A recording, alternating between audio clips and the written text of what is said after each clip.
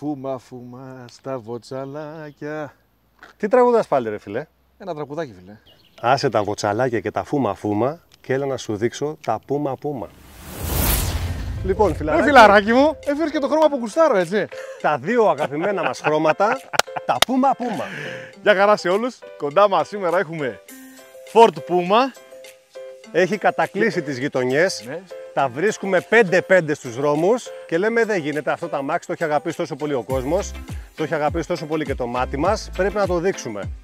Πάμε να πούμε σε τι εκδόσεις βγαίνει το Puma και να πούμε ότι αυτή τη στιγμή που τραβιέται το βίντεο, ό,τι θα δείξουμε σταματάει γιατί ξεκινάει το καινούριο facelift που θα έχει μερικές μικροδιαφορές, το σήμα θα κατέβει πιο κάτω, το φανάρι λίγο θα αλλάξει και η οθόνη μέσα στο ταμπλό θα αλλάξει.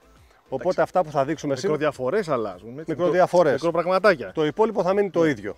Οπότε, μέχρι αυτή τη στιγμή που μιλάμε, οι εκδόσεις ήταν η Titanium, που είναι η οικονομική θα λέγαμε, η ST Line, που είναι εδώ πέρα η κυρία, και η ST Line X, που είναι εδώ πέρα το γκριζάκι το ωραίο.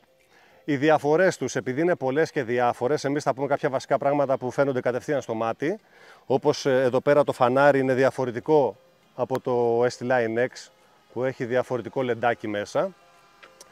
Οι ζάντες στο 6 είναι 18 ενώ εδώ είναι 17 και έχουμε πάρα πολλά καλούδια από εξοπλισμό που μπορείτε να μπείτε και εσείς στη Ford, στην ιστοσελίδα της Ford και να δείτε τι θέλετε να βάλετε και τι θέλετε να βγάλετε για να το διαμορφώσετε στην τιμή που εσάς σας βολεύει και με τα αξισουάρ που σας βολεύει.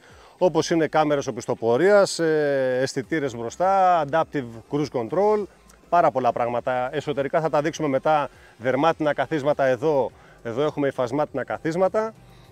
Οπότε έχουμε εκδόσεις Titanium, ST Line και ST Line X. Και έχουμε και την ST, την πολύ δυνατή, με τα 1500 κυβικά και τα 200 άλογα.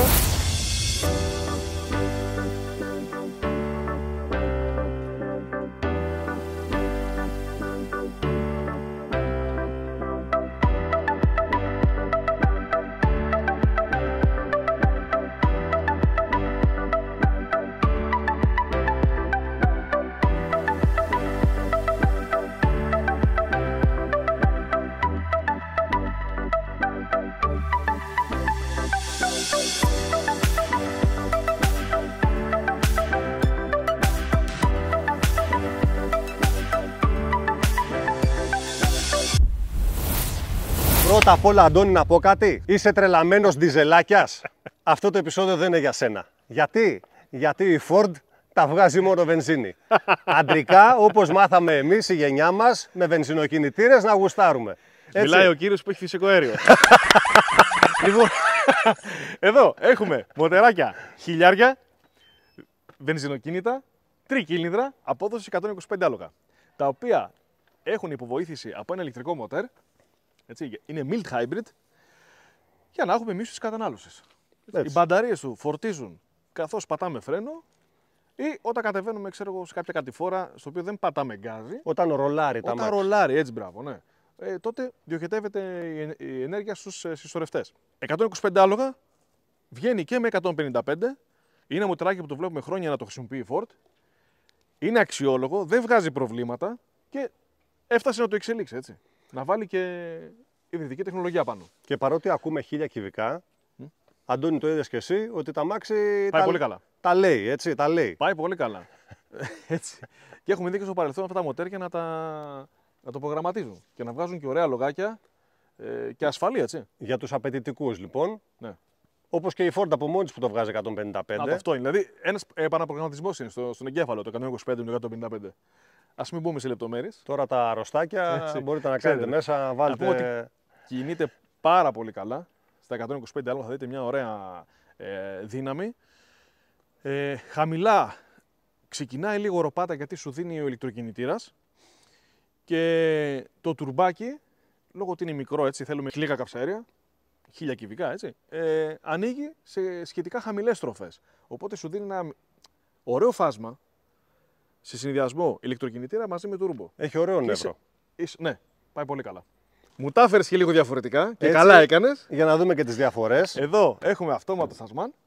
Εφτάρι σασμάν αυτόματο. Άρη. Και, Και εδώ εδώ. πέρα έχουμε manual εξάρι σασμάν.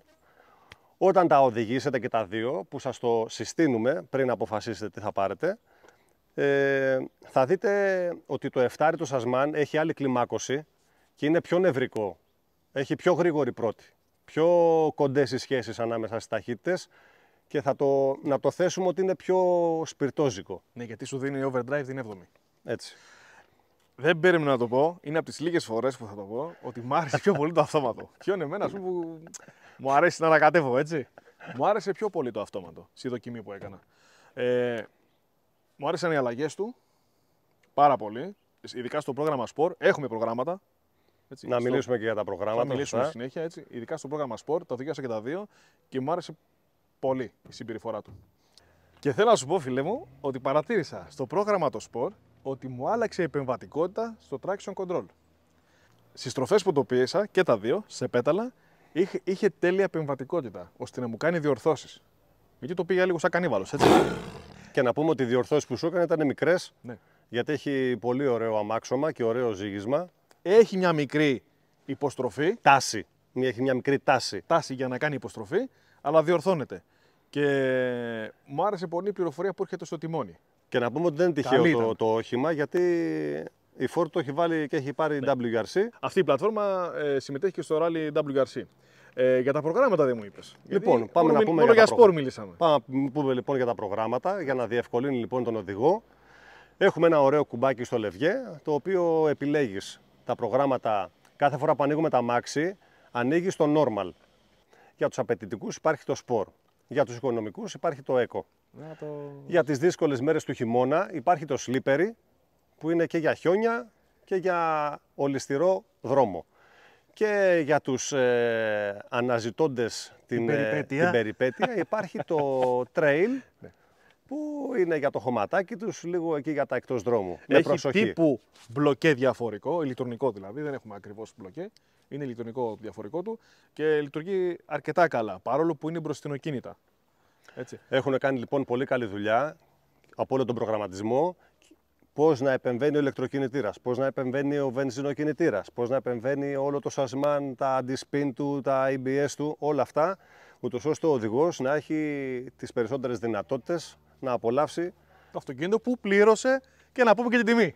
Οι τιμές ποικίλουν ναι. και θα πούμε χοντρικά ότι ξεκινάει από τα 24, αλλά full extra φτάνει τα 28 και τα δύο γιατί εδώ πέρα ο κύριος προτίμησε να αγοράσει το X με τις 18 ρεζάντες, αλλά πήρε manual, ενώ εδώ πέρα η κυρία προτίμησε το αυτόματο σασμάν. Και για να ολοκληρώσουμε με τις τιμές, όπως είπαμε και νωρίτερα, μπαίνετε στην ιστοσελίδα της Ford και διαμορφώνετε το όχημά σας με ό,τι αξεσουάρ θέλετε, γιατί ποικίλουν τα αξεσουάρ και με τις εκδόσεις, για να μην σας μπερδέψουμε. Γιατί ούτως ή άλλως το, αυτό το, τα καταργεί και τώρα θα βγάλει καινούριο με facelift και προφανώς θα διαφοροποιηθούν και τιμές. Έτσι. Να περάσουμε και στα φρένα. Εδώ δεν μου άρεσε που έχουμε πίσω ταμπούρα. ταμπούρο, μα είναι δυνατόν. Εν τω μεταξύ, η Ford το κρατάει, το κρατάει αυτό το story χρόνια τώρα, έτσι. Όχι, θα Σου ήθελα... Λέει, ταμπούρο πίσω δουλεύει, το αφήνω. Εγώ από τα φρένα θα ήθελα κάτι παραπάνω. Γιατί ε, όσο έκανα τεστ, ήμουν μόνος στη δοκιμή. Το μόνος τι σημαίνει ότι δεν έχει βάρος το αυτοκίνητο. Έτσι. OK, okay, δηλαδή το φορτώσω τι θα γίνει. Θα ήθελα ένα καλύτερο φρένο. Όχι ότι δεν είναι καλά, αλλά ήθελα αυτό λοιπόν, για να, το, για να το θέσουμε πιο κοσμία, θα πούμε ότι τα φρένα κάνουν τη δουλειά τους, αλλά για τους απαιτητικούς θέλει κάτι παραπάνω. Αναρτήσεις. Αναρτήσεις συμπαθητικές. Δεν είναι κάτι τρομερό. Καλά, να σου δώσουμε τον WRC, ρε Αντώνη. Εδώ στο ρε φίλε μου, μα μου φέρνεις... Φέρω μια φορά WRC να το δοκιμάσουμε κι αυτό. Όσον αφορά την ανάρτηση εδώ που λέει ο φίλος μας ο Αντώνης, να πούμε λίγο παραπονεμένος όπως πάντα, είναι απαιτητικός, θέλει σπορτίv χαρακτήρα, δεν πάνε να είναι το αμάξι ψηλό, χαμηλό, θέλει αυτός αγωνιστικό αυτοκίνητο. Άκουτο. Και εδώ πέρα έχουμε 16 εκατοστά πάνω κάτω ύψος απόσταση από το έδαφος και γι' αυτό ο φίλος μας ο Αντώνης εδώ βγήκε λίγο παραπονεμένος γιατί σου λέει σου κάνει κάτι ψηλοβυθίσει. Δικαιολογημένα. Δικαιολογημένα γιατί η κατηγορία απευθύνεται πήγε να κάτσει στα SUV. Δηλαδή για να μπορέσεις να κάνεις και το πέρασμά σου άνετα σε έναν ε, ανώμαλο δρόμο, σε ένα χωμάτινο. Ωραία. Εγώ θα πω με τη σειρά μου ότι έχω μείνει πάρα πολύ ευχαριστημένος από όλη τη συμπεριφορά. Είναι ένα αυτοκίνητο που θα μπεις μέσα, θα κλείσεις την πόρτα, group, κλείσαμε. Πολύ ωραία τελικά άνεση στο τιμόνι, η αίσθηση, η συμπεριφορά στο ταξίδι και μέσα στην πόλη και έξω στο ανοιχτό δρόμο. Μου άρεσε. μέσα στην πόλη ελαφρύ τιμόνι, κάνεις πολύ εύκολα τις μανούβρες σου και έξω στον ανοιχτό δρόμο. Πάμε να ρίξουμε μια ματιά μέσα πώς είναι; Πάμε, πάμε να Πάμε δείξουμε να και ρίξουμε μια μέσα, ματιά, έτσι. γιατί έχει πολύ ωραία αφινιρίσματα. Στο εσωτερικό. Να πούμε διαφορές που έχει το ST Line X από το ST Line. Εδώ τα δερμάτινα καθίσματα. Υπάρχει διαφορά στο carbon. Εδώ πέρα είναι ματ και ανάγλυφο, στο άλλο είναι γυαλιστερό. Και γενικώς υπάρχουν πάρα πολλές διαφορές στα αξεσουάρ που για να μην σας μπερδέψω μπαίνετε και τα βλέπετε στην ιστοσελίδα της Ford. Εγώ έχω να δώσω ένα μεγάλο μπράβο και στον εσωτερικό σχεδιασμό όπως και στον έξω γιατί έχουν πάρα πολύ ωραίες γραφές και τα καθίσματα και το τιμόνι και οι πόρτες. Πολύ ωραία μαλακά μέρη εδώ και ωραίες γραφές. Πάρα πολύ design το όχημα. Δεν θα σε αφήσει παραπονεμένο. Και με τις ωραίες του τις οθόνες και στο καντράν αλλά και στο κέντρο για όλη την πληροφορία. Η κεντρική οθόνη είναι 8 ιντσών και 12,3 του καντράν. Από την ίδια εταιρεία όταν το παίρνεις σου λένε προστάτευσέ τες τις οθόνες γιατί όταν τις βλέπει πολύ ο ήλιος, όπως και τα κινητά μας και όλες οι οθόνες τεχνολογίας, θέλουν προσοχή. Αυτό να το ξέρετε. Και μας είπανε να σκεπάζετε τις οθόνες γιατί άμα ζεσταθεί πάρα πολύ μπορεί να μην σου λειτουργήσει. Οπότε αυτό να το έχουμε όλοι στα υπόψη όταν θέλουμε τεχνολογία, αλλά η τεχνολογία θέλει και προσοχή. Ενώ όλοι οι παλιοί που είναι με το καντράν το, το αναλογικό, το πετάγαμε στον ήλιο το καλοκαίρι, πηγαίναμε για μπάνιο, δεν μας ένοιαζε τίποτα. Τώρα πρέπει να τα προσέχουμε. Και να, να πω ότι και στο δικό μου το καμίκ η οθόνη που είναι μέσα, το χειμώνα που κάνει πολύ κρύο, άμα δεν ζεσταθεί τα μάξι, μου έχει τύχει φορές να μην ανάβει. Και δεν μπορώ να ανοίξω ούτε το κλιματισμό, ούτε το ραδιόφωνο, ούτε τίποτα. Ούτε η κάμερα οπισθοπορίας δούλευε, γιατί δουλεύαν όλα μέσω της οθόνης. Οπότε αυτό να το έχουμε στην παρένθεση του τι πρέπει να προσέχουμε όταν θέλουμε τεχνολογία. Υπάρχει και ο κίνδυνος. Θέση οδήγησης. Έχω βάλει τον οδηγό στη θέση που μου αρέσει. Επάνω το κεφάλι έχω, έχω αρκετό χώρο που είμαι και με το καπέλο μέσα στα μάξι. Φίλε μου, να σχολιάσουμε ότι πάνω έχει έναν ειδικό σχεδιασμό για το κεφάλι, ο ουρανός. Έχει Εσοχές. εσοχή χώρο για να είμαστε άνετοι εμείς οι περίεργοι, οι ψηλοί. Ναι, κάτσε να δεις πίσω πώς θα κάτσει και τα λέμε μετά. Για πάμε να δούμε και πίσω. Είμαι στο 1,90 και έχω ρυθμίσει το κάθισμα του οδηγού στα μέτρα μου. Και πίσω κάθομαι όπως βλέπετε. Οριακά. Οριακά, γιατί και πίσω δεν έχω άλλο χώρο να πάω. Πάνω ίσα ίσα που βρίσκει το, βρίσκει το κεφάλι μου βασικά, δεν μπορώ να κουμπίσω. Δεν μπορώ να κουμπίσω πίσω το κεφάλι μου στο ταξίδι, πρέπει να έχω μπροστά το κεφάλι μου. Οπότε για ψηλό ενήλικα πίσω δεν κάνει για ταξίδι. Πάμε να δείξουμε και ο Αντωνάρας εδώ πως Στο κάθεται. 1,76, παιδιά όπω 1,76. ξέρετε, εγώ οδηγώ εκεί. Σασμάν. Εντάξει.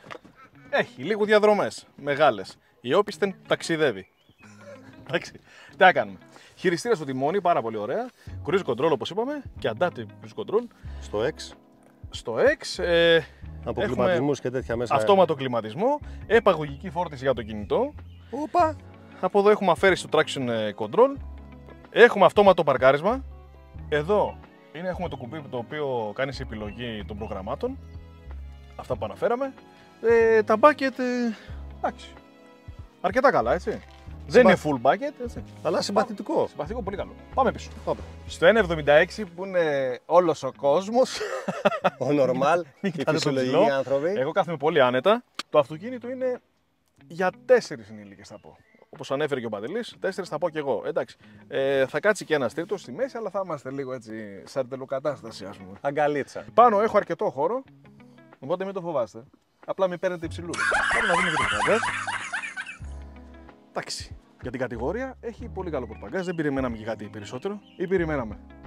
Για αυτούς που περιμένανε, Α, Κοίτα εδώ μέσα τι γίνεται. λοιπόν, παιδιά, εδώ έχουμε ένα χώρο 80 λίτρων έξτρα, το οποίο έχουμε και τάπα αποστράγγισης. Κοίτα εδώ. Ναι, γιατί Ένα- έχεις πετάξει εδώ μέσα τα κουβαδάκια σου και τα τέτοια σου από την παραλία. Εσύ τα κουβαδάκια. Εγώ το πρώτο πράγμα που σκέφτηκα είναι να το γεμίσω πάγο και να πετάξω μπύρες.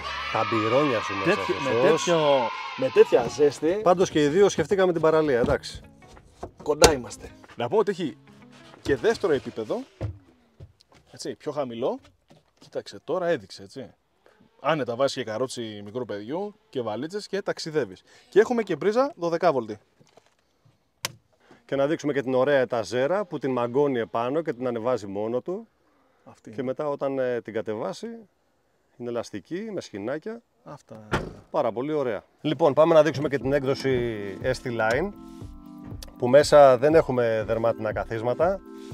Έχουμε υφασμάτινα και στις πόρτες και στα καθίσματα. Έχουμε κάρμπον στο ταμπλό. Έχουμε τις οθόνες μας. Εδώ έχουμε το αυτόματο σασμάν όπως είπαμε.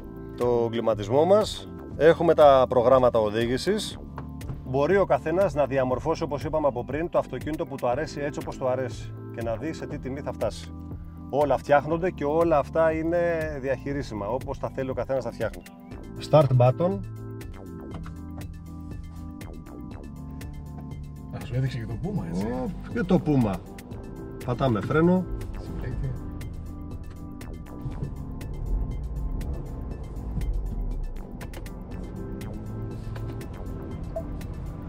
Και όταν το κλείσουμε, σε χαιρετάει εδώ πέρα με ένα γράφημα. Σου λέει φίλε, είσαι κεραυνός. Εδώ πέρα έχουμε βάλει την οθόνη μας, navigation κτλ. Πολύ είναι φορτωμένο με εξοπλισμό και με ωραία πραγματάκια που όπως είπαμε και εξωτερικά εμφανισιακά αλλά και μέσα από αξεσουάρ δεν θα σε αφήσει ούτε παραπονεμένο ούτε διάφορο. Να πούμε και λίγο περί κατανάλωσης τι παίζει. Εντός πόλης θα δείτε γύρω στα 5,8 με 6 με normal οδήγηση, έτσι, δεν είπαμε ότι κυνηγάς σαν τρελός και εκτός πόλης με μια normal ταχύτητα όπως έχουμε πει τα 130 θα δεις 4,8 με 5 έτσι, δηλαδή... Πολύ δίμιο. Και θα ρίξουμε και ένα βίντεο για να δούμε τι διαφορά έχει σε στροφές το αυτόματο σασμάν από το, από το manual. Γιατί το manual είναι εξατάχυτο, το αυτόματο είναι εφτατάχυτο και να δούμε τι διαφορά έχουν στο ταξίδι.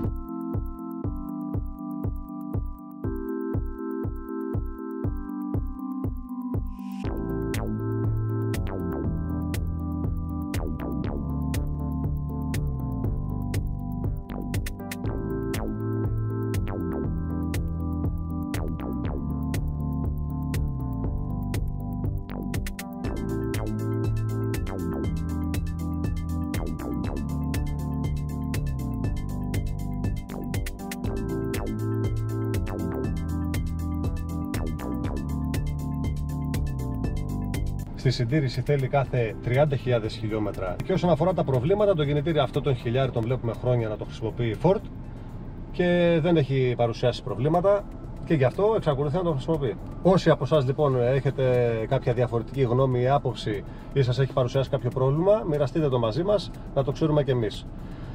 Ε, να μιλήσουμε κι εμείς από τις πληροφορίες που έχουμε ε, από τους φίλους μας που το οδηγάνε η τεχνολογία πέρα από ομορφιά θα πούμε ότι έχει φέρει και κάτι που δεν μας άρεσε. Έχει φέρει θερμοκρασίες όπως και το κινητό σας όταν το δουλεύετε πολλή ώρα που ζεσταίνετε. Δείξε λίγο τις, τις οθόνες. Εδώ πέρα μπροστά στις οθόνες έχει παρατηρηθεί το φαινόμενο ειδικά τους καλοκαιρινούς μήνες. Αισθάνεσαι μετά από κάμποση ώρα όταν λειτουργούν επειδή ανεβάζουν θερμοκρασία αισθάνεσαι αυτή τη θερμοκρασία εδώ στο χέρι. Για αυτά είχαμε να πούμε για τα Ford Puma. Αν σας άρεσε το βίντεο like, κάντε μια κοινοποίηση του και άλλα φιλαράκια, κάντε μια εγγραφή στο κανάλι να μας βοηθήσετε στενά δυναμώσουμε και τα λέμε σε ένα επόμενο βίντεο. Γεια χαρά. χαρά. Τι κάνετε, ε; Εμείς είμαστε, ναι.